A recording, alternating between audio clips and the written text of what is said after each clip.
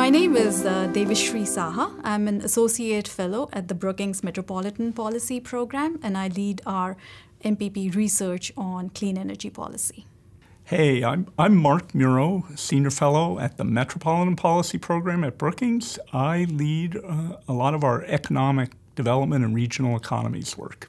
We need energy innovation to respond effectively to the threats of uh, global climate change.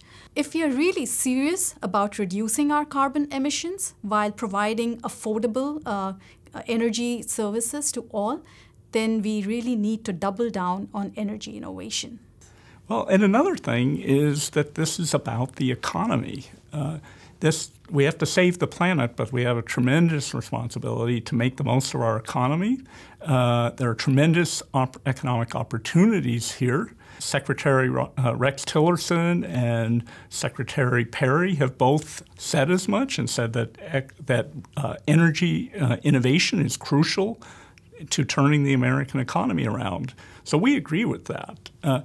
Uh, but then there's the huge opportunity that it is. This is a $1.4 trillion global economy. It would be uh, really unfortunate for the United States to remain sidelined during the growth of that in the next 20 years. So in our uh, research, we found that while patenting trend uh, across these clean tech ad, uh, categories, it grew significantly since 2001, but it has actually begun to slow down in the last couple of years. Compared to US companies, uh, foreign companies are patenting at a you know, much higher level of patenting activity. So all this taken together raises serious concerns about the ability of the United States to effectively respond to the threat of climate change.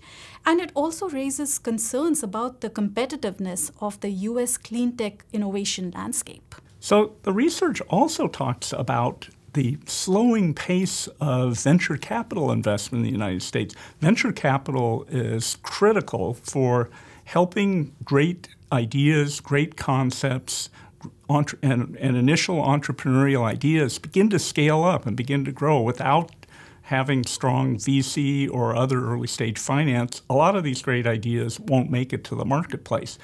So, without innovation and major advances in clean energy technology, not only the United States, but the rest of the world will only be able to offer modest improvements in their future climate plans. And that is not just going to be enough. Uh, so, in other words, energy innovation is going to be the ultimate solution to the challenge of uh, climate change. Well, turning to the economics uh, side of this, there's the very real possibility of simply missing out and slowing uh, uh, the pace of innovations. If we had stopped investing, we might not have had the Tesla car uh, beginning to roll out. Uh, if we uh, stopped investing, we might not have easy access to solar PV on your rooftop. So there are very real material losses that the public and the market might uh, occur if we stop trying to roll these these uh, technologies out fast. And then again, there is that 1.4 uh, trillion dollar global uh, economy. Are we going to be participants or not? Other nations like China are moving to dominate this uh, economy. It would be a shame for the United States to take itself out of the game.